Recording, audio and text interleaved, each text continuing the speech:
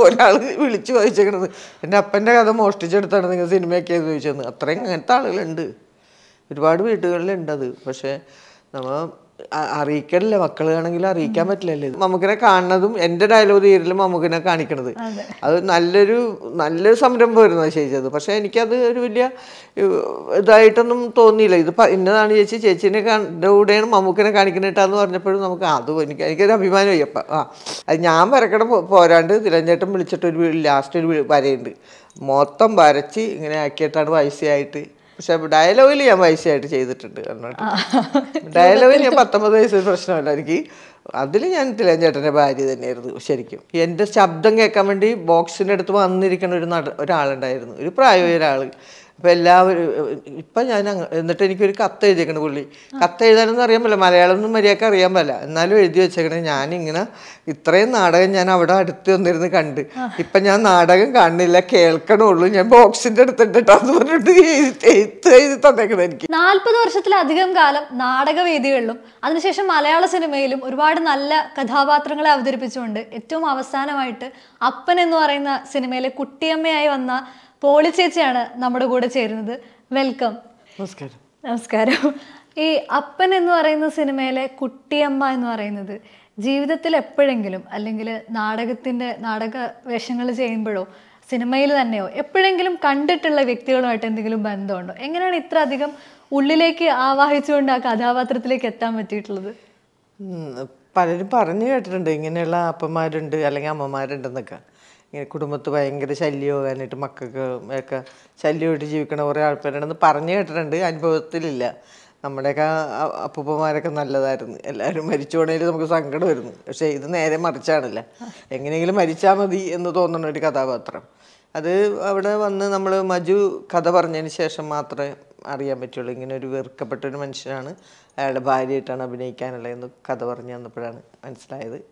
പക്ഷെ അത് നമുക്കത് തന്മയത്വമായിട്ട് ചെയ്യാൻ പറ്റി എന്നുള്ളതാണ്. എങ്ങനെയാണ് ആ ഒരു ഇമോഷൻ ആ ഒരു സ്റ്റേറ്റിലേക്ക് സ്വയം എത്താൻ പറ്റിയിട്ടുള്ളത്? എത്താൻ പറ്റിയതെന്ന് പറഞ്ഞാൽ നമ്മൾ ചെയ്യുമ്പോൾ നമുക്ക് കഥാപാത്രങ്ങൾ തരുമ്പോൾ നമ്മൾ അതിലേക്കാവും.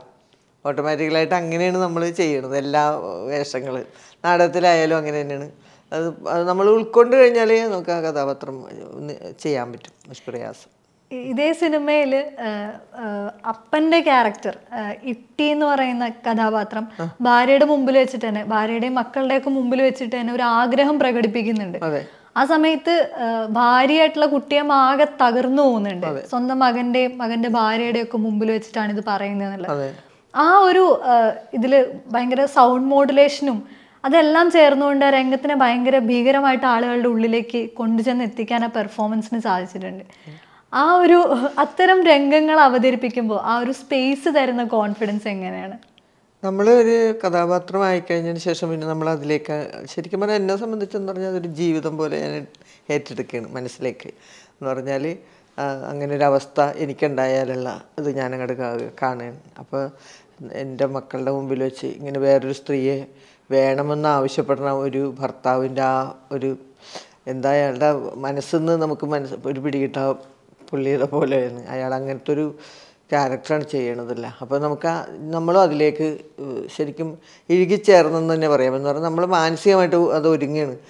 ഇങ്ങനെ ഒരു സാധനം ചെയ്യുമ്പോൾ അതെങ്ങനെ പ്രതികരിക്കാം? അങ്ങനെ എങ്ങനെ അത് ഫീൽ ചെയ്യും നമുക്കെന്നുള്ളത് ഒരു പെണ്ണ് എന്നുള്ളത് സംബന്ധിച്ച് ഒരു ഭാര്യ എന്ന നിലയിൽ നമ്മൾ അതങ്ങോട്ട് ഉൾക്കൊണ്ടതിന് കൊണ്ടാണ് അത്രയും നമുക്കത് ചെയ്യാൻ പറ്റിയത്.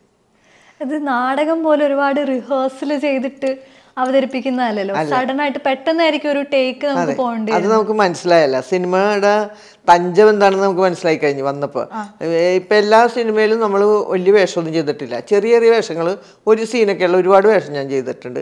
ആ സമയത്തെല്ലാം അവരോട് അവർ അവിടെ ചെല്ലുമ്പോൾ നമ്മളോട് ഫുൾ കഥയൊന്നും നമ്മളോട് പറയാറില്ല. ഇന്ന കാരണം ചേച്ചി ഇന്നതാണ് ചെയ്യേണ്ടതെന്ന് മാത്രം പറയുള്ളൂ. ആ സമയത്ത് നമുക്ക് ആ സാധനം നമ്മളിങ്ങോട്ട് എടുക്കുക. അത് നമ്മൾ വേണ്ട വിധത്തിൽ നമ്മളുടെ രീതിയിലാക്കി ഇങ്ങോട്ട് പ്രസന്റ് ചെയ്യുക. അതാണ് എനിക്ക് ഉള്ള ഒരു ഇത്. അപ്പോൾ അതുകൊണ്ട് നമ്മൾ അത് ദൈവം തന്നൊരു ഭാഗ്യമാണ് എന്ന് പറയാം. അപ്പോൾ നമുക്ക് എന്ത് ഒരു ചെറിയത് കിട്ടിയാലും നമ്മൾ ആളുകൾ അത് കാരണം മറക്കണില്ല. ഇപ്പൊ ഭീഷ്മയിൽ ഒരൊറ്റ സീനേ ഉള്ളൂ. ഒരൊറ്റ ഡയലോഗ് ഒറ്റ ഒരു പാരഗ്രാഫ് ഡയലോഗാണ് പക്ഷെ അത് ഓപ്പണിംഗ് തന്നെ അത് മമ്മൂക്കിനെ കാണുന്നതും എന്റെ ഡയലോഗ് തീരലും മമ്മൂക്കിനെ കാണിക്കണത്. അത്. നല്ലൊരു നല്ലൊരു സംരംഭമായിരുന്നു അത് ചെയ്തത് പക്ഷെ എനിക്കത് ഒരു വലിയ ഇതായിട്ടൊന്നും തോന്നിയില്ല. ഇത് ഇന്നതാണ് ചേച്ചി. ചേച്ചീനെ കണ്ട കൂടെയാണ് മമ്മൂക്കിനെ കാണിക്കണേട്ടാന്ന് പറഞ്ഞപ്പോഴും നമുക്ക് അത് എനിക്ക് എനിക്കൊരു അഭിമാനമായി. അപ്പം ആ ശരിയാണ്. അപ്പം നല്ലൊരു സന്തോഷമായിട്ടാണ് ഞാൻ അത് ചെയ്തത്.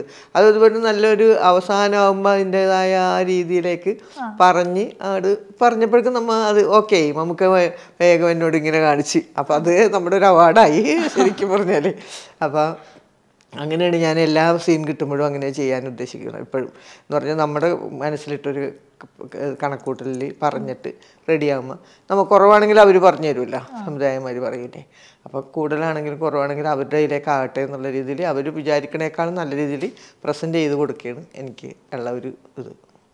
ഈ നാടകവുമായിട്ട് നാടകത്തിലാണ് ഒരുപാട് കാലം ഉണ്ടായിരുന്നത് അപ്പൊ അത് തന്നിട്ടുള്ള ഒരു കോൺഫിഡൻസ് എങ്ങനെയാണ് നാടകത്തിൽ നിന്ന് വന്നതുകൊണ്ടാണ് നമുക്ക് ഇത്രയും ചെയ്യാൻ പറ്റുന്നത്.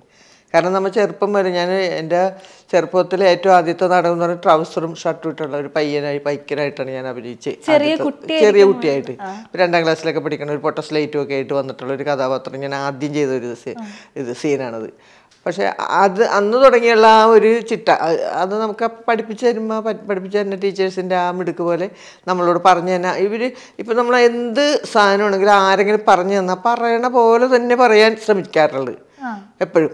അപ്പോൾ അത് നമുക്കൊരു നല്ലതായിരുന്നു. ഏഹ് നമ്മൾ അവർ പറഞ്ഞ ടോണിന്റെ ആ വ്യത്യാസങ്ങൾ കേട്ട് പറയാനായിട്ട് നമ്മൾ പഠിച്ച്. എന്ന് പറയുമ്പോൾ ഞാൻ നാടകത്തിന്റെ എഴുപത്തഞ്ച് കാലഘട്ടത്തിലാണ് നമ്മൾ നാടകം ഫുള്ളായിട്ട് നാടക രംഗത്തേക്ക് ഇറങ്ങുന്നത് ആ സമയത്തൊക്കെ പ്രൊഫഷണൽ നാടക ട്രൂപ്പിലൊക്കെ ചെല്ലുമ്പോൾ അതിന്റെ സംവിധായകന്മാർ പറഞ്ഞ ആ രീതി അതങ്ങനെ തന്നെ നമ്മൾ അപ്പം തന്നെ ഗ്രാസ്പ് ചെയ്യും. അത്രയും നന്നായിട്ട് പിടിച്ചെടുക്കും. അത് ടോണിന്റെ എങ്ങനെയാണെന്നുള്ളത് പറഞ്ഞിട്ട്. അതുകൊണ്ടാണ് നമുക്ക് അങ്ങനെ അന്ന് തുടങ്ങി ഇങ്ങനെ ചെയ്ത് ചെയ്ത് ചെയ്ത് ഇത് വരാനായിട്ട് പറ്റിയത്. പിന്നെ ഇപ്പം നമുക്കൊരു ഡയലോഗ് നിങ്ങൾ തന്നാൽ എനിക്കത് ഏത് രീതി പറയണമെന്ന് എനിക്കറിയാം. എന്റെ മനസ്സിലുണ്ട് ആ ഇന്നത് രീതി പറഞ്ഞത് ഇന്നത് നല്ലതാവും എന്ന് പറയും. അങ്ങനെ പറയുമ്പോഴാണ് ഡയറക്ടർമാർ ആ ഓക്കെ പോളി ഓക്കെ പോൾ ചേച്ചി എന്ന് പറയും ഇങ്ങനെ. ഇപ്പോഴും സിനിമയിൽ വരുമ്പോഴും അതെ. സിനിമയിൽ മജു ഒരുപാട് സീനിൽ മജുവിന് ഞാൻ കഞ്ഞി പിടിച്ചിരിക്കണ സീനൊക്കെ ചെയ്തിട്ട് ഞാൻ പറയണ രാസ്ത്രത്തെ ഡയലോഗായിട്ട് മജു കരഞ്ഞ് മജു ഓടി വന്ന് വിളിച്ചു ഞാൻ വിചാരിച്ചേക്കാളും മേലെ ചെയ്യണ്ടട്ടാന്ന് പറഞ്ഞിട്ട് പറഞ്ഞു. അതായത് നമുക്ക് ഏറ്റവും വലിയ സന്തോഷം അങ്ങനെയൊക്കെ പറയുമ്പോൾ അത് ആത്മാർത്ഥമായിട്ട് നമ്മൾ എന്ത് കിട്ടിയാലും ആത്മാർത്ഥമായിട്ട് തന്നെ അത് ചെയ്യണമെന്നുള്ള ആഗ്രഹമാണ് ചെയ്യാൻ. എന്ത് പിന്നെ ഇനി നമുക്ക് എന്തോരം നമ്മൾ നാടകത്തിൽ ചെയ്തതിന്റെ പകുതി ഭാഗം സാധനങ്ങൾ പോലും നമുക്ക് സിനിമ ചെയ്യാൻ പറ്റിയിട്ടില്ല. അപ്പം അതുപോലത്തെ ഭാഗങ്ങൾ കിട്ടട്ടെ എന്ന് ഞാൻ എപ്പോഴും പ്രാർത്ഥിക്കും. നല്ല നല്ല സാധനങ്ങൾ വരുമ്പോൾ നമുക്കത് ചെയ്യാൻ പറ്റുമല്ലോ. അങ്ങനെ ഇനി അത്ര നാൾ നിൽക്കുമ്പോൾ സിനിമ ഉണ്ടാവുമെന്നൊന്നും നമുക്ക് പറയാൻ പറ്റില്ലല്ലോ. അപ്പം ഉള്ള കാലം നല്ല രീതിയിൽ നല്ല വേഷങ്ങൾ ആരെങ്കിലുമൊക്കെ എഴുതി തന്നാൽ അത് ഇപ്പം അമ്മ വേഷങ്ങൾ വളരെ കുറവാണ്. അമ്മമാരില്ല ഇപ്പൊ? ഇപ്പൊ ടെസ്റ്റ് ട്യൂബ് ശിശുക്കളാണെന്ന് എനിക്ക് തോന്നുന്നത് ഇപ്പൊ അമ്മമാരുടെ വേഷം എഴുതണില്ല. പണ്ടത്തെ സിനിമ എന്ന് പറഞ്ഞാൽ അമ്മയ്ക്ക് പ്രാധാന്യമുള്ളൊരു സംഭവങ്ങളാണ് അന്ന് എഴുതിയിരുന്നത് വെച്ചത്. അതുപോലെ എന്തെങ്കിലുമൊക്കെ ഇവർ എഴുതി തന്നാൽ നമുക്ക് ചെയ്യാൻ വളരെ ഹാപ്പിയാണ്. ഇപ്പം അമ്മ റോൾ എന്നല്ല ഏത് തരത്തിലാണേലും ഇപ്പൊ ഒരു ക്യാരക്ടർ റോളിനൊക്കെ ഇപ്പൊ ഒരുപാട് ഇമ്പോർട്ടൻസ് വരുന്നുണ്ട്. ഇപ്പം അപ്പൻ എന്ന് പറയുന്ന സിനിമയിൽ തന്നെ അതിലെ നായകൻ നായിക എന്നുള്ളതല്ല അതിലെ എല്ലാ കഥാപാത്രങ്ങളുമാണ്. അതിൽ തന്നെ കുട്ടിയമ്മ ഭയങ്കരമായിട്ട് എടുത്തു നിൽക്കുന്നുണ്ട് ആ സിനിമേനെ നയിക്കുന്ന തന്നെ കുട്ടിയമ്മയുടെ ഇമോഷൻസ് ഒക്കെയാണ്. അങ്ങനെ ഇമ്പോർട്ടൻസ് ഇപ്പൊ മലയാള സിനിമയിൽ എല്ലാ കഥാപാത്രങ്ങൾക്കും വരുന്നില്ലേ? വരുന്നില്ല. ഒരുപാട് കഥാപാത്രങ്ങൾ അങ്ങനത്തെ ഇല്ലാതെയാണ് ഉള്ളത്. എല്ലാം ഇങ്ങനെ ഒരു ഓർഡിനറി ആയിട്ട് അങ്ങോട്ട് പോകും. അത്രയൊക്കെ ഉള്ളൂ. വലിയ നല്ലോണം നമുക്ക് ചെയ്യാൻ പറ്റിയ വേഷങ്ങളൊന്നും അങ്ങനെ കാര്യമായിട്ട് കിട്ടണില്ല എന്ന് പറഞ്ഞാൽ പിന്നെ എഴുതണില്ല. അതാണ് പ്രധാനം. എഴുത്തുകാരുടെ ഇതിലേക്ക് നമ്മളൊക്കെ ഒന്നും ആയിട്ടില്ലെന്നുള്ളതാണ്. പിന്നെ മജു എന്നോട് നേരത്തെ തന്നെ ഈ കഥ എഴുതിയപ്പോൾ തന്നെ പൗൾ ചേച്ചനെ ആലോചിച്ചിട്ട് തന്നെയാണ് ഞാൻ ഈ കഥ എഴുതണേട്ടാന്നും എന്നോട് പറഞ്ഞിട്ടുണ്ട്. അപ്പം എനിക്ക് അത് കാരണം മജു അത് എന്റെ രീതി അനുസരിച്ച് തന്നെ മജു എന്ന് ചെയ്യാനായിട്ട് എനിക്ക് പറ്റുകയും ചെയ്തു. മജു അങ്ങനെ എഴുതുകയും ചെയ്തു. അതാണ് ഇതിന്റെ അകത്തെ ഏറ്റവും വലിയ സന്തോഷം. ഈ സിനിമയുടെ റിവ്യൂസ് ഒക്കെ കാണുന്ന സമയത്ത് അതിൽ ഒരുപാട് സ്ഥലങ്ങളിൽ കണ്ടിട്ടുള്ളത് പൊളിച്ചിച്ചിലെ ക്യാരക്ടർ ശരിക്കും കെ പി എസ് സി ലളിതയുടെ ഒക്കെ കഥാപാത്രങ്ങളുമായിട്ട് കമ്പയർ ചെയ്തിട്ട് ആളുകൾ അഭിപ്രായങ്ങൾ പറയുന്നുണ്ട്. സഡൻ ആയിട്ട് കരയുന്ന രംഗങ്ങൾ വരുന്നത് കെ പി എസ് സി ലളിതയൊക്കെ എന്ന് പറഞ്ഞാൽ ഒരു പ്രതിഭകളായിരുന്നു ശരിക്കും പറഞ്ഞാൽ. പിലോമിന ചേച്ചി അവരൊക്കെ സുകുമാരി അവരൊക്കെ എന്ന് പറഞ്ഞാൽ നമുക്ക് എത്തിപ്പെടാൻ പറ്റാത്ത അത്രയും കഴിവുള്ള ആർട്ടിസ്റ്റുകളായിരുന്നു ഈ K P S C Lalitha എന്ന് പറഞ്ഞാൽ കണ്ണീര് വരാനായിട്ട് ഗ്ലിസറിന്റെ ആവശ്യമൊന്നുമില്ല. അവർ നാടക നടിയാണ് അവർ അതേപോലെ തന്നെ പറയും.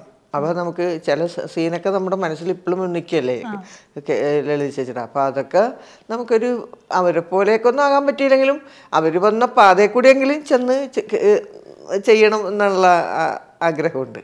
അത്തരം കമ്പാരിസൺസ് വരുന്നതിനെ കണ്ടിട്ടുണ്ടായിരുന്നു അങ്ങനെ കമ്പാരിസൺസ് അത് ഞാൻ ശരിക്കും ഫിലോമൻ ചേച്ചിയാണ് എന്റെ മനസ്സിലെപ്പോഴും. തട്ടുപൊളിപ്പ സാധനങ്ങളും ഉണ്ടല്ലോ ചേച്ചിയുടെ അപ്പൊ അതുകൊണ്ട് എപ്പോഴും ഞാൻ ഫിലോമൻ ചേച്ചിയുടെ കാര്യം ഞാൻ ഓർക്കും. എന്റെ ഒരു ക്യാരക്ടർ ചേച്ചി ചെയ്തിട്ടുണ്ട്. അതായത് ഞാൻ നാടകത്തിന് പോകുമ്പോൾ പിന്നെ എന്റെ വീടിന്റെ അവിടെ നിന്നൊരു പത്ത് പതിനഞ്ച് മിനിറ്റ് നടക്കണ ഒരു നടപ്പാതയുണ്ട്. അതായത് അവിടെ അന്ന് പിന്നെ ഈ ലൈറ്റുകളൊന്നുമില്ല എല്ലാ വീടുകളിലും വെയിലി വെയിലിയാണ് എന്നൊക്കെ അതിലൊന്നും ആയിട്ടില്ല. ആ സമയത്തൊക്കെ ഞാൻ നാടകത്തിന് പോയി വരുമ്പോൾ ആ വെയിലിമെന്നൊരു ആ വെയിലിമെന്ന് ഒരു പത്തലൊക്കെ ഒടിച്ചെടുത്ത് പിന്നെ അത് ഒടിച്ചൊടിച്ച് തീർന്നു കഴിഞ്ഞപ്പോൾ പിന്നെ പിള്ളേരോട് പറയും ഒരു വടി അവിടെ വെച്ചോട്ട് പറയും വരുമ്പോൾ പട്ടിയുടെ ശല്യത്തിനാ. മനുഷ്യരെയൊന്നും എനിക്ക് പേടിയുണ്ടായില്ല.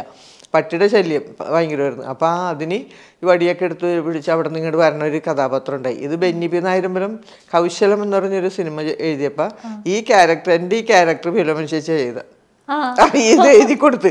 ചേച്ചി നാടകം കഴിഞ്ഞ് വന്ന ഒരു വണ്ടി ഒരു ബാസ്ക്കറ്റ് പണ്ടത്തെ ഒരു ബാസ്ക്കറ്റ് ആണല്ലോ അന്ന്. ആ ബാസ്ക്കറ്റിൽ പിടിച്ചിട്ട് വടിയും ടോർച്ചും ഒക്കെ ആയിട്ട് വന്ന ഒരു സീൻ. അപ്പോൾ ബെന്നി പറഞ്ഞു ഫിലോമൻ ചേച്ചിനോട് ഇങ്ങനെ ഒരു ക്യാരക്ടർ നമ്മുടെ അവിടെ ജീവിച്ചിരിപ്പുണ്ട് കേട്ടോ എന്ന് പറഞ്ഞു. അത് നാടകത്തിലുണ്ടായിരുന്ന അസോസിയേഷനിൽ തന്നെ വന്നായിരിക്കില്ല അവരൊക്കെ ഒരു അതെ അതെ അതെ അതെ. ബെന്നി നാടകം ഏഴ് നാടകം ബെന്നിയുടെ ഞാൻ ചെയ്തിട്ടുണ്ട്. ഇപ്പൊ അടുത്ത തന്നെ ഒരു ബെന്നിയുടെ ഒരു സ്ക്രിപ്റ്റ് ഞങ്ങൾ അടുത്ത മാസം ഷൂട്ട് തുടങ്ങുന്നത്. സിനിമയിലെ. സിനിമ. പേരൊന്നും പറഞ്ഞിട്ടില്ല. സിനിമയും ഞാനും അന്നയും ഉണ്ട്. ഞങ്ങൾ രണ്ടുപേരും കൂടെ. അപ്പൊ ഞങ്ങൾ വൈപ്പിങ്കരക്കാര് ഇവിടെ ഒരു സിനിമ വൈപ്പിങ്കര തന്നെ ഷൂട്ട്. ഓക്കെ. അത് വൈപ്പിനിലെ പ്രശ്നങ്ങളിലും ഇതേപോലെ നേരത്തെ അന്നയുടെ ഒക്കെ പ്രതികരണങ്ങൾ ഉണ്ടായിരുന്നു അപ്പൊ അതെ അതെ അതെ. ഞങ്ങൾ ബന്ധമുള്ള അങ്ങനെയൊന്നുമില്ല. സ്ക്രിപ്റ്റ് അങ്ങനെ എത്തല്ല സ്ക്രിപ്റ്റ് വേറെ എന്തോ രീതിയാണ്. ഇതൊന്നും ഇപ്പൊ നമ്മളെ പുറത്തു വിട്ടിട്ടില്ല. അങ്ങനെ പറഞ്ഞിട്ടില്ല. അതെയൊന്നും ഈ നാടകത്തിൽ തന്നെ പത്തൊമ്പത് വയസ്സിൽ തന്നെ ഒരു എഴുപത്തഞ്ച് വയസ്സുകാരിയായിട്ട് അഭിനയിച്ച കഥകളൊക്കെ കേട്ടു ആ ആ, ഭാര്യയായിട്ട്. അതെ. എനിക്ക് പത്തൊമ്പത് വയസ്സുള്ളൂ. പിന്നെ ഇതൊരു പാവക്കുട്ടിയുടെ അത്രയുള്ള മുഖമുള്ള എനിക്ക്. ആ മുഖം മുഴുവനും വരച്ച് വയസ്സിയാക്കി അത് ഞാൻ വരക്കണ പോരാണ്ട് തിലഞ്ചേട്ടൻ വിളിച്ചിട്ട് ഒരു ലാസ്റ്റ് ഒരു വരയുണ്ട്. മൊത്തം വരച്ച് ഇങ്ങനെ ആക്കിയിട്ടാണ് വയസ്സിയായിട്ട് പക്ഷെ ഡയലോഗിൽ ഞാൻ വയസ്സായിട്ട് ചെയ്തിട്ടുണ്ട്. ഡയലോഗിൽ ഞാൻ പത്തൊമ്പത് വയസ്സ് പ്രശ്നമല്ല. എനിക്ക് അതിൽ ഞാൻ തിലഞ്ചേട്ടന്റെ ഭാര്യ തന്നെയായിരുന്നു ശരിക്കും. പിന്നെ മേക്കപ്പ് ഇട്ട് ശരിയാക്കി എടുത്ത് എന്ന് മാത്രമേ ഉള്ളൂ. ചട്ടയും മുണ്ടൊക്കെ കൊടുത്തിട്ട് ഒരു പാവം പിടിച്ചൊരു അമ്മ. അങ്ങനത്തെ ഒരു കഥാപാത്രമാണ് ചെയ്തത്. ഈ നാടകത്തിൽ തന്നെ തിലകൻ കൂടെ അല്ലാതെ തന്നെ ഒരുപാട് ഒരുപാട് വ്യത്യസ്തമായിട്ടുള്ള ആളുകളുടെ കൂടെ. പി ജാനിന്റെ പി ജാനന്റെ ട്രൂപ്പിലേക്കാണ് ഞാൻ എഴുപത്തഞ്ചിൽ ചെല്ലണത്. അടിയന്തരാവസ്ഥ സമയത്ത് ഉള്ള അവിടെ നിന്ന് ഞാനൊരു അഞ്ചു വർഷം അവിടെ നിന്ന്. അഞ്ചു വർഷം നിന്നപ്പോൾ തിലാഞ്ചേട്ടനും ഉണ്ട് അവിടെ. അങ്ങനെ ഒന്നിച്ച് ഫിജാനിന്റെയും തിരഞ്ചേട്ടന്റെയും ഒക്കെ കൂടെ ഒപ്പം നാടകം കളിച്ച് വരാൻ പറ്റി. അവർ ഒന്നിച്ച് സ്റ്റേജിൽ മത്സരമാണ് സ്റ്റേജിൽ അഭിനയിക്കുന്നത് അതെന്ന് പറഞ്ഞാൽ ആനച്ചേട്ടൻ പറഞ്ഞതിൽ മേലെ പറയണം തിലഞ്ചേട്ടൻ തിലഞ്ചേട്ടൻ പറഞ്ഞ മേലെ പറയണം ഞാൻ. അങ്ങനെ അത് നമ്മൾ പറയണേൽ പറയിപ്പിക്കും. എന്ന് പറഞ്ഞാൽ ഒരാൾ ഒരു ആർട്ടിസ്റ്റ് അങ്ങനെ എങ്കിലും ആയിക്കോട്ടെ എന്ന് വിചാരിക്കില്ല അവിടെ. അവിടെ എല്ലാവരും പക്കയിരിക്കണം ഒരേ ലെവലിൽ നിൽക്കണം ഇവർ ആരോഹണം അവരോഹണം എന്ന് പറഞ്ഞൊക്കെ ശരിക്കും അവിടെയാണ് പഠിച്ചേക്കുന്നത് വാട്ടർ പാട്ട് ക്ലാസ് പഠിക്കണേക്കാളും ഗംഭീരമായിട്ടാണ് അവിടെയൊക്കെ പറയുന്നത്. നമ്മൾ പറയണതിന്റെ മേലെ ഇരിക്കണം നിർത്താൻ പറയണത്. അങ്ങനെ അങ്ങനെയാണ് അവർ അവിടെ പഠിപ്പിച്ചിട്ട നമുക്ക്. അപ്പോൾ അതുകൊണ്ട് അതൊക്കെ അവരുടെ കൂടെയൊക്കെ തന്നെ പഠിച്ചത് തന്നെ നമ്മുടെ ഭയങ്കര ലക്കാണ്. ശരിക്കും ബി എ ബി ബി കോമിനൊക്കെ പോയ പോലെയാണ് അവിടെ നാടകമൊക്കെ പഠിച്ചത്. അക്ഷരങ്ങൾ വരെയും ബോർഡിൽ എഴുതിയിട്ടാണ് അവിടെ പഠിപ്പിക്കുന്നത് ഭായും തായും പായും ഒക്കെ മര്യാദയ്ക്ക് പറഞ്ഞില്ലെങ്കിൽ അപ്പത്തന്നെ എഴുതും. എഴുതടാന്ന് പറഞ്ഞ് എഴുതിപ്പിക്കും. എല്ലാ ജോലി ഒക്കെ ഉള്ള ഉദ്യോഗസ്ഥന്മാർക്ക് ഈ നാടൻ കളിക്കാൻ പറ്റുന്നത് പക്ഷെ ഇവിടെ വന്നു കഴിഞ്ഞാൽ എല്ലാവരും ഒരേപോലെ തന്നെ. അപ്പം അത്രയും നല്ല ചിട്ടയും പഠിപ്പും നമുക്ക് കിട്ടി ആദ്യ കാലഘട്ടത്തിൽ അതുകൊണ്ടാണ് എന്ത് കിട്ടിയാലും നമുക്കത് നിഷ്പ്രയാസം ചെയ്യാൻ സാധിക്കണം. ഇപ്പോഴും സിനിമകളിൽ നേരത്തെ പറഞ്ഞ പോലെ ആ സൗണ്ട് മോഡുലേഷൻ നമുക്ക് കാര്യമായിട്ട് ഫീൽ ചെയ്യും. ഈ അപ്പനിൽ തന്നെ പെട്ടെന്ന് ഒരു സീൻ എനിക്ക് ഇപ്പോൾ ഓർമ്മ വരുന്ന ഭക്ഷണം കഴിക്കാനിരിക്കുന്ന സമയത്ത് വളരെ നല്ല ഭക്ഷണമാണല്ലോ എന്ന് പറഞ്ഞ് പെട്ടെന്ന് തന്നെ ആളുടെ ഭാവം മാറുമ്പോഴും ആ ശബ്ദത്തിൽ വരുന്ന വ്യത്യാസങ്ങളുണ്ട്. പെട്ടെന്ന് ഇമോഷൻസിനെ വോയിസിലൂടെ കൺവേ ചെയ്യാൻ പറ്റുന്നുണ്ട്. അതൊക്കെ ഈ ഒരു ട്രെയിനിങ്ങിലൂടെ അതെ അതെ. അത് നാടകം തന്ന ഒരു നാടകം ശരിക്കും തന്ന ഒരു അറിവാണ് നമുക്ക് കിട്ടിയേക്കണത്.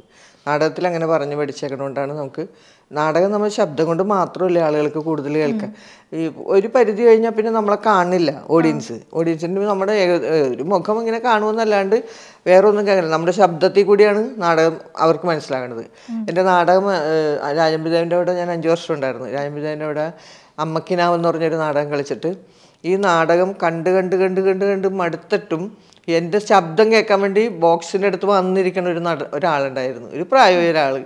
അപ്പം എല്ലാവരും ഇപ്പം ഞാൻ എന്നിട്ട് എനിക്കൊരു കത്ത് എഴുതിയേക്കണ പുള്ളി. കത്ത് എഴുതാനൊന്നും അറിയാൻ പറ്റില്ല. മലയാളം ഒന്നും മര്യാദയ്ക്ക് അറിയാൻ പറ്റില്ല. എന്നാലും എഴുതി വെച്ചേക്കണേ. ഞാനിങ്ങനെ ഇത്രയും നാടകം ഞാൻ അവിടെ അടുത്ത് വന്നിരുന്ന് കണ്ട്. ഇപ്പം ഞാൻ നാടകം കാണുന്നില്ല കേൾക്കണുള്ളൂ ഞാൻ ബോക്സിന്റെ അടുത്തിട്ടാന്ന് പറഞ്ഞിട്ട് എഴുതി എഴുത്ത് എഴുതി തന്നേക്കണേ എനിക്ക്. അങ്ങനെ അത് അപ്പം നമ്മുടെ ശബ്ദം മതിയാവും. അപ്പം ആലമുടന്റെ ട്രൂപ്പിൽ ഞാൻ മൂന്ന് വർഷം ഉണ്ടായി ആലമുടന്റെ കൂടെ നാടകം കളിക്കുമ്പോൾ ആലമുടൻ അന്ന് ലക്ഷക്കണക്കിന് ജനങ്ങളാണ് ഈ പരിപാടി കാണാൻ പറ്റുന്നത് ഇന്നത്തെ പോലെയൊന്നുമല്ല എല്ലാം കൂടും കൊടുക്കെ എടുത്ത് പത്ത് ദിവസം ഉണ്ടെന്ന് പത്ത് ദിവസം തുണിയെ പായ വിരിച്ച് അവിടെ സ്ഥലം പിടിച്ചിട്ടേക്കണേ അമ്പലത്തിലൊക്കെ. അപ്പോൾ ആലമുടൻ അവിടെ ആദ്യം അനൗൺസ് ചെയ്യും. പിന്നെ കുറച്ച് പേർക്ക് നാടകം കാണാൻ പറ്റുള്ളൂ. ബാക്കിയുള്ള ആൾക്കാർ കേട്ടാൽ മതി. ദൂരെ നിന്ന് എന്ന് പറഞ്ഞ് വിളിച്ചു പറയും. അത്രേ പറ്റുള്ളൂ. അതാണ് നാടകത്തിന്റെ അപ്പോൾ അതാണ് നമ്മൾ ഈ ശബ്ദം നമ്മുടെ അന്ന് നമ്മ വ്യത്യാസം വരുത്തി പറയാനായിട്ട് നമ്മൾ പഠിക്കണത്. നമ്മൾ കരച്ചിലാണ് കരയണത് കണ്ണീരൊന്നും വന്നാലൊന്നും അവർ ആരും കാണാനുണ്ടാവില്ല. ഫ്രണ്ടിലിരിക്കുന്ന കുറച്ച് പിള്ളേരും കുറച്ച് ആൾക്കാരെ കാണുള്ളൂ. അപ്പം നമ്മൾ ശബ്ദത്തിൽ അത് ക്രമീകരിച്ച് പറയും. അങ്ങനെ പറഞ്ഞ് പറഞ്ഞ് പഠിച്ചത് കൊണ്ടാണ് ഇപ്പം നമുക്ക് സിനിമ പറയുമ്പോഴും ആ ഒരു സുഖം കിട്ടണത്. എന്നിട്ടും സിനിമയിലേക്ക് വരാൻ ഇത്ര സമയമെടുത്തത്? സമയമെടുത്തെന്ന് പറഞ്ഞാൽ നമ്മൾ നേരത്തെ വന്നിട്ട് കാര്യമില്ലായിരുന്നു. ഇപ്പം നമ്മൾ സമയത്താണ് വന്നത്. കാരണം എന്താന്ന് പറഞ്ഞാൽ ഇവിടെ K P S Lalitha Sukumari Meena Philomina ചേച്ചി അങ്ങനെയുള്ള വലിയ വലിയ ആർട്ടിസ്റ്റുകളുള്ള സമയം. പിന്നെ അപ്പം ഒരിക്കൽ ഈ നാടക ഉദ്ഘാടനത്തിന് രാജമ്പതിന്റെ ഇവിടെ നമ്മുടെ ജഗതി മാമുക്കോയ ഈ കലാഭവൻ ഹനീഫ കുറച്ച് ഒരു അഞ്ച് പേര് ഓളം സിനിമാക്കാർ വന്നു സിനിമാക്കാർ വന്ന് നാടകം കണ്ടു കഴിഞ്ഞതിന് ശേഷം ഈ നാടകം എന്ന് പറഞ്ഞാൽ അമ്മണി ട്രാവൽസ് പ്രൈവറ്റ് ലിമിറ്റഡ് എന്ന് പറഞ്ഞൊരു നാടകമാണ് അത് കളിച്ചത്. അപ്പോൾ നാടകം കഴിഞ്ഞപ്പോൾ തന്നെ ഇവർ നാടകത്തിന്റെ ലാസ്റ്റ് സീനിൽ കട്ടൻ പൊക്കിയപ്പോൾ എന്നെ ഇവരെല്ലാവരും കൂടി വന്ന് എടുത്ത് എന്ന് പറഞ്ഞാൽ കംപ്ലീറ്റ് കോമഡിയാ. വട്ടിനെ ചെറിയ വട്ടമുള്ളൊരു കഥാപാത്രമായിരുന്നു. അപ്പോൾ ഇവർ എന്നിട്ട് എന്നോട് ചോദിച്ചു ജഗതി എന്നോട് ചോദിച്ചു എന്നാണ് അങ്ങോട്ട് വരണേന്ന് ചോദിച്ചു. സിനിമക്കാരുടെ സിനിമയിലേക്ക്. എന്നാ വന്നത് ഞാൻ പറഞ്ഞു. അവിടെ ഒന്ന് ഒതുങ്ങട്ടെ എന്നിട്ട് വരാന്ന് പറഞ്ഞു ഞാൻ. വെറുതെ പറഞ്ഞതാണ്. ഒന്നും ഒരു മുഖം ഉണ്ടായില്ല. അങ്ങനെ ആഗ്രഹിച്ചിട്ട് പോലും ഉണ്ടായില്ല. എന്ന് പറഞ്ഞാൽ നമുക്ക് നാടകം ഉണ്ടെങ്കിൽ അങ്ങനെയൊന്നും ആഗ്രഹിക്കാൻ സമയമില്ല. അത്ര നാടകം കളിക്കണ ആ സമയത്ത് മുന്നൂറ്റി പത്ത് നാടകം മുന്നൂറ്റി മുപ്പത് നാടകം വരെ കളിച്ച കൊല്ലങ്ങളുണ്ട്. അപ്പൊ പിന്നെ നമ്മ എത്ര ദിവസം വീട്ടിലുണ്ടാവണം. അപ്പൊ ആ ഒരു ഇതുകൊണ്ട് നമുക്ക് ഇതിന് സിനിമയിൽ പോകണമെന്നോ മറ്റൊന്നും ചിന്തിക്കാനുള്ള സമയമില്ല നമുക്ക്. അപ്പൊ പിന്നെ അതിനെപ്പറ്റി ഞാൻ ചിന്തിച്ചിട്ടില്ല. കാരണം സിനിമ കാണണം എന്നുള്ള ഒറ്റ ഇതേ ഉള്ളൂ ഒരു നാടകം കഴിഞ്ഞ് വന്നിട്ട് ഒരു ഗ്യാപ്പ് കിട്ടി അപ്പം തന്നെ സിനിമ പോകും. അത് മാത്രം ആ പ്രാന്ത് മാത്രം ഉണ്ടായിരുന്നുള്ളൂ. സിനിമയിൽ അഭിനയിക്കാൻ പോകണം എന്നുള്ളൊരു ഇത് ഉണ്ടായിരുന്നില്ല. ഇത് എങ്ങനെയോ ഓർക്കപ്പുറത്ത് സിനിമയിൽ വന്നതാണ്. അത്ര എനിക്ക് പറയാനുള്ളൂ. ഏതാണ് കൂടുതൽ കംഫർട്ടബിൾ ആയിട്ട് തോന്നിയിട്ടുള്ളത്? ഒരു നാടകം അഭിനയിക്കുമ്പോൾ ഉണ്ടാവുന്ന അല്ലെ ഒരു നാടകം കളിച്ച ആളുകളിലേക്ക് എത്തിയിട്ടുണ്ടാവുന്ന ഒരു ഫീലും സിനിമയിലെ കഥാപാത്രങ്ങൾ ആളുകളിലേക്ക് എത്തിയിട്ടുള്ള ഫീലും തമ്മിൽ വ്യത്യാസം തോന്നിയിട്ടുണ്ട്? നല്ല വ്യത്യാസമുണ്ട്. കാരണം നാടകം ചെയ്ത് നമുക്ക് അപ്പം തന്നെ കിട്ടണം അതിന്റെ റിസൾട്ട് നാടകം ചെയ്തുകൊണ്ടിരിക്കുമ്പോൾ നല്ലൊരു ഉഗ്രൻ ഡയലോഗ് അങ്ങോട്ട് പറയണം അപ്പം കൈയടിക്കും ആളുകൾ ലൈവായിട്ട് കേട്ട് കേട്ട് കേട്ടിട്ട് കൈയടിക്കണം അപ്പൊ നമുക്കൊരു സംതൃപ്തിയാണത്. പക്ഷെ സിനിമ എന്ന് പറയുന്നത് നമ്മൾ ചെയ്തിപ്പോ ഒരു വർഷം കഴിഞ്ഞിട്ടല്ലേ ഈ അപ്പൻ സിനിമ വന്നത്? അപ്പൊ അതുപോലെ സമയമെടുത്ത് എപ്പോഴെങ്കിലും വന്ന് ആളുകൾക്ക് ഇഷ്ടപ്പെട്ടാൽ ഇഷ്ടപ്പെട്ട്. അത്രേ ഉള്ളൂ. പക്ഷെ വെറ്റതല്ല ഇങ്ങോട്ട് പറയണേന് അങ്ങോട്ട് അപ്പം തന്നെ മറുപടിയാണ് നാടകത്തിന്റെ അപ്പൊ ഇത് സിനിമയിൽ കിട്ടിയിട്ടില്ല. കിട്ടാൻ ആയിട്ടില്ല ഈ സിനിമയിൽ തന്നെയാണെങ്കിലും ചെറിയ റോളുകൾ ഇപ്പം ചെറിയ വീട്ടു വേലക്കാരിയായിട്ട് വരുന്നതാണെങ്കിലും മീൻകാരി പച്ചക്കറിക്കാരിയായിട്ട്. അപ്പം അങ്ങനത്തെ കുറേ റോളുകളിൽ തുടക്കത്തിലെല്ലാം പെട്ടു നിന്നിട്ടുണ്ട്. പക്ഷെ അപ്പോഴും ആളുകൾ അത് ക്യാരക്ടേഴ്സിനെ എപ്പോഴും ക്യാരി ചെയ്യുന്നുണ്ട്. ആളുകൾ എപ്പോഴും ചേച്ചിയാണ് അത് ചെയ്യുന്നത് എന്നുള്ളത് ആളുകൾ ഓർത്ത് വെക്കുന്നുണ്ട്. അങ്ങനത്തെ ചെറിയ തമാശ വേഷങ്ങളും ചെയ്യുന്നുണ്ട്. ഇപ്പം ഇതുപോലൊരു ക്യാരക്ടർ റോൾ ചെയ്തു. ഈ മായവിലെ റോളും അതുപോലെ ഒരുപാട് ആളുകൾ ഏറ്റെടുത്തിട്ടുണ്ടായിരുന്നു. അപ്പം ഈ രണ്ട് വ്യത്യസ്തമായിട്ടുള്ള സ്വഭാവങ്ങൾ കാണിക്കുമ്പോൾ അതിൽ ഏതിലാണ് കൂടുതൽ സംതൃപ്തി വന്നിട്ടുള്ളത്? എനിക്ക് സത്യം പറഞ്ഞാൽ ഈ കോമഡിയും ഈ സീരിയസും ചെയ്യണതാണ് ഇഷ്ടം. ഒരു അത് ഒരു ഒരു നാടകത്തിൽ എന്ന് വിചാരിച്ചു. ഒരു നാടകത്തിൽ ഒരു രണ്ട് മണിക്കൂർ നാടകം. അതിലൊരു ഒരു മണിക്കൂറോളം നമ്മൾ ഇന്റർവെൽ വരെയും നല്ല കോമഡിയൊക്കെ ചെയ്തിട്ട് ഈ ഇന്റർവെൽ കഴിയുമ്പോൾ അതിന്റെ സീരിയസ് ആയി കഴിഞ്ഞാൽ നമുക്ക് രണ്ട് വെറൈറ്റി സാധനങ്ങൾ ചെയ്യാൻ പറ്റും. എനിക്ക് നാടകം എഴുതി തന്നെ ആളുകൾ എല്ലാവരും അങ്ങനെ ചെയ്യാറുള്ളത്. ഫ്രാൻസിസ് മാവേലിക്കരം ബെന്നി പി നായരുമ്പല അങ്ങനെയുള്ള ആളുകളൊക്കെ എഴുതുമ്പോൾ അവൾ ചേച്ചിക്ക് ഇത് രണ്ടും ചെയ്യാൻ അറിയാവുന്നതുകൊണ്ട് അവർ വേഗം ആദ്യം കുറച്ച് കോമഡി ആയിരിക്കുള്ളൂ. പിന്നെ ലാസ്റ്റത്തെ ഒരു പൊട്ടിക്കൽ നല്ല കിണ്ണ സാധനം എഴുതി തരും. അപ്പം അങ്ങനെ ചെയ്ത് ചെയ്ത് ചെയ്ത് എനിക്ക് നല്ല ഇതാണ്. അപ്പോൾ അതുകൊണ്ട് ഇതിൽ വന്ന് ഇപ്പോൾ കോമഡിയൊക്കെ ചെയ്ത് ചെയ്യണം നമുക്ക് പ്രശ്നമൊന്നുമില്ല. കോമഡി കിട്ടിയ കോമഡി ചെയ്യും. അത്രേ ഉള്ളൂ. അത് ഇപ്പോൾ സുമാരി ചേച്ചിയൊക്കെ തന്നെ ഒന്ന് ആലോചിച്ച് നോക്കി.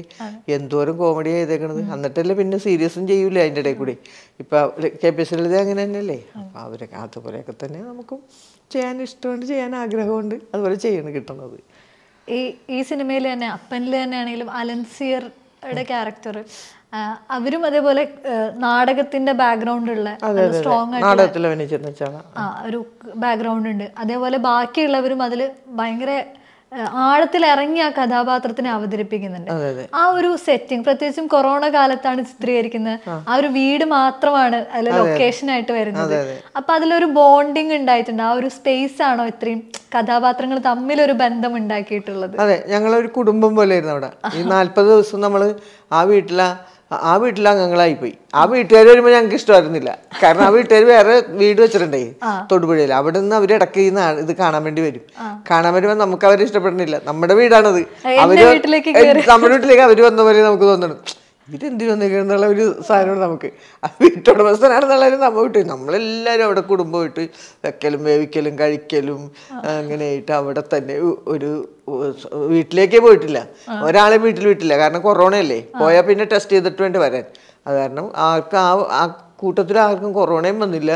ഒരു പ്രശ്നവും ഇല്ലാണ്ട് സുഖമായിട്ട് അങ്ങനെ പോയി അത്.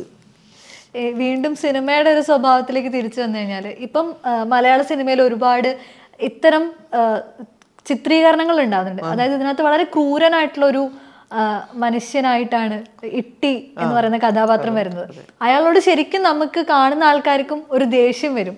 അല്ലെങ്കിൽ ഇയാളൊന്ന് മരിച്ചാൽ മതിയായിരുന്നു എന്നുള്ള ഒരു ഇത് വരും. അപ്പൊ ശരിക്കും അത് നമ്മുടെ നാടുകളിൽ നടക്കുന്ന ഇപ്പൊ നമ്മൾ കേൾക്കുന്ന ഒരുപാട് യാഥാർത്ഥ്യമാണ്. യാഥാർത്ഥ്യമാണ്. ഒരാൾ ഇപ്പൊ ഈ സിനിമ കണ്ടിട്ട് എന്റെ അപ്പന്റെ കഥ മോഷ്ടിച്ചാന്ന് ചോദിച്ചത്. ഒരാൾ വിളിച്ചു ചോദിച്ചേക്കണത് എന്റെ അപ്പന്റെ കഥ മോഷ്ടിച്ചെടുത്താണ് നിങ്ങൾ സിനിമയൊക്കെ ചോദിച്ചത് അത്രയും അങ്ങനത്തെ ആളുകളുണ്ട്. ഒരുപാട് വീടുകളിലുണ്ട് അത്. പക്ഷെ നമ്മൾ അറിയിക്കണില്ല മക്കളാണെങ്കിൽ അറിയിക്കാൻ പറ്റില്ലല്ലോ ഇത്. അറിയിച്ചിട്ട് അപ്പനെ തല്ലിന്ന് അല്ലേ ആൾക്കാർ പറയുള്ളൂ. അപ്പന്റെ അവസ്ഥ ഇതാണെന്ന് എന്നുള്ളത് ആരും മക്കളെയാലും വെറുപ്പിച്ചറിയും ചിലര്. അത് അങ്ങനത്തെ ഒരു കഥാപാത്രങ്ങളുണ്ട് ഇപ്പോഴും. അങ്ങനെ.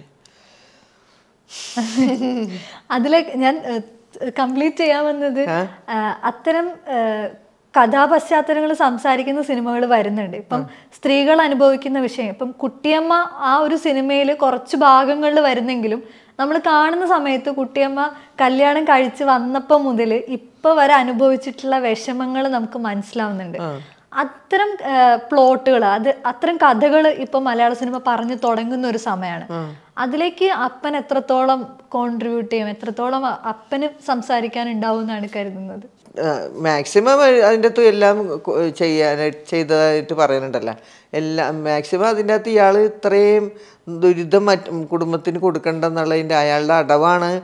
രണ്ടാമത് ആ പെണ്ണിനെ വീട്ടിലേക്ക് കൊണ്ടുവരാൻ വേണ്ടി അയാൾ മുതൽ അവളുടെ പേരിലാണെന്ന് പറഞ്ഞിട്ട് അയാൾ അതൊരു ട്രിക്ക് പോലെ എടുത്തിട്ട് നമ്മ അതിൽ നമ്മൾ വീണു പോയിന് ശരിക്കും പറഞ്ഞാൽ അങ്ങനെ ഇങ്ങനത്തെ ഒരു മാനസികാവസ്ഥയുള്ള ഒരു മനുഷ്യനെ നമ്മൾ വീണ്ടും വന്നു കഴിയുമ്പോഴാണ് അറിയണത് ഇവർ ഇതൊന്നും അല്ല ഇവർക്ക് അയാളെ അയാളെ അവളെ വരുത്തിക്കാൻ വേണ്ടിയാണ് ഇയാൾ ഇങ്ങനെയൊക്കെ ചെയ്യണതെന്ന് മനസ്സിലാക്കണത്. അപ്പോൾ അതെന്ന് പറഞ്ഞാൽ നമുക്ക് ഏറ്റവും മൃഗീയമായിട്ടുള്ളൊരു കാഴ്ചപ്പാടിലേ അത് കാണാൻ പറ്റുള്ളൂ. ഏത് തന്തയാണെങ്കിലും നമുക്ക് തല്ലിക്കുന്നോടെ അതിനെ പറ്റുള്ളൂ.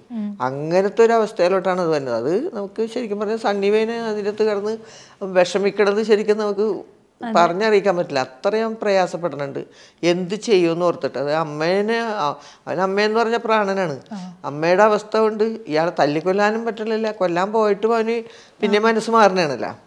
പിന്നെ സംരക്ഷിക്കാൻ സംരക്ഷിക്കുന്നുണ്ട് പിന്നെ സംരക്ഷിക്കുകയാണ്. എന്ന് പറഞ്ഞാൽ അവസ്ഥ അങ്ങനെയായി. എന്ന് പറഞ്ഞാൽ ഇയാൾ മ- ഇയാളെ കൊന്നു കളഞ്ഞാൽ അപ്പൊ അയാൾ മനസ്സ് സമ്മതിക്കണില്ല അവന്. അപ്പൊ അവനത് പിന്നെ വീണ്ടും അത് അവർ അതൊക്കെ അമ്മ പക്ഷെ അവനങ്ങനെ ചെയ്യുമെന്ന് പേടിക്കുന്നുണ്ട് പിന്നെ. അമ്മയ്ക്ക് തോന്നുന്നുണ്ട് അയ്യോ ഇവൻ ഇങ്ങനെ ആയിപ്പോവും അയാളെ പോലെ തന്നെ ആയിപ്പോ എന്നുള്ള ഒരു പേടിയാണ് അമ്മയ്ക്ക് അമ്മയ്ക്ക് വന്നത്. രണ്ടിന്റെയും നടുക്ക് നിൽക്കുന്ന ഒരു അവസ്ഥ. ഞാനത് നല്ലോണം ചെയ്തിട്ടുണ്ടെന്നാണ് എന്റെ വിചാരം. അത് എന്ന് ഇതുങ്ങളെ ഈ ഇതുങ്ങളെ എല്ലാത്തിനെയും കൂട്ടി പിടിച്ച് എവിടെയെങ്കിലും പോകാൻ എന്ന് അവസാനം പറയാനായിട്ട് ഉള്ള ഒരു അവസ്ഥ വന്നത് ഒന്നും വേണ്ട നമുക്ക് പോകാം എവിടെയെങ്കിലും. എവിടെയെങ്കിലും പോയി മനസ്സമാധാനത്തോട്ട് കിടന്നാൽ മതി എന്നുള്ള ഒരു ഇത്. ആ കൊച്ചു അതിനകത്ത് കിടന്നത് ഇങ്ങനെയല്ലേ? അപ്പം അങ്ങനത്തെ ഒരു വിഷമതകളൊക്കെ ശരിക്കും മജുവിന്റെ കഴിവാണ് കേട്ടത് മജു ഡയറക്ടറിന്റെ പവർ തന്നെയാണത്. എല്ലാ വശത്തു നിന്നും നോക്കിക്കണ്ട് നമ്മൾ കൊണ്ട് ചെയ്യിപ്പിച്ചതാണത്.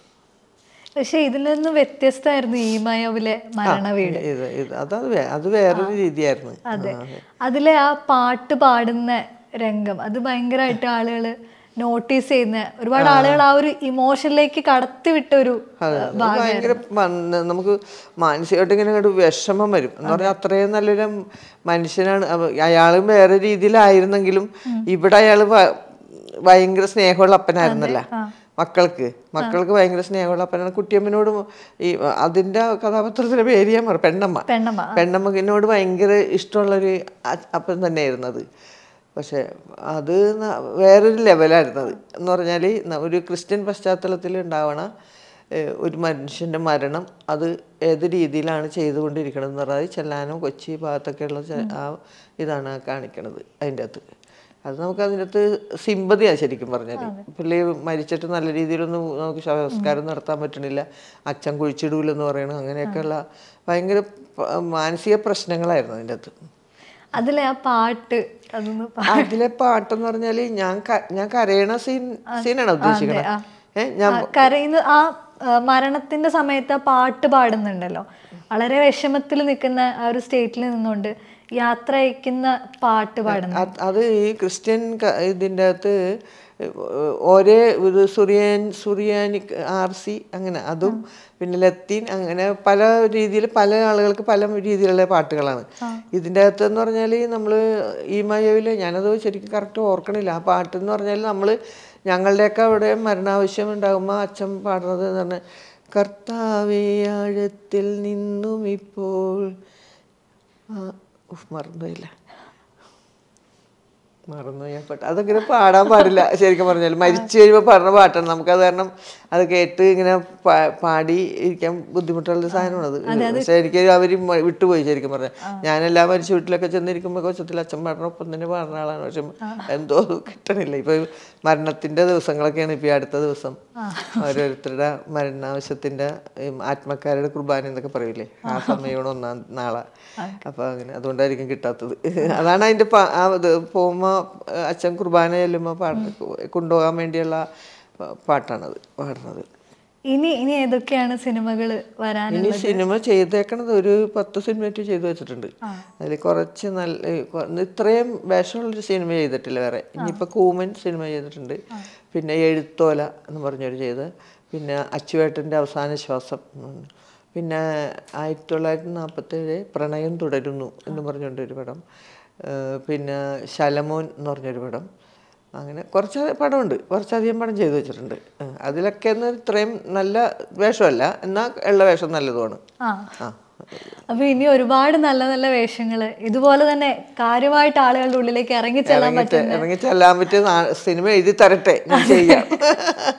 അത്തരം സിനിമകൾ ഉണ്ടാവട്ടെ ആളുകളിലേക്ക് ഒരുപാട് എത്തി എത്തിച്ചേരാൻ പറ്റട്ടെ. നാടകത്തിനെക്കാട്ടിലും നല്ലൊരു സ്പേസ് ഇനിയും ഉണ്ടാവട്ടെ. ആശംസിക്കുന്നു. Thank you so much for the time thank you thank you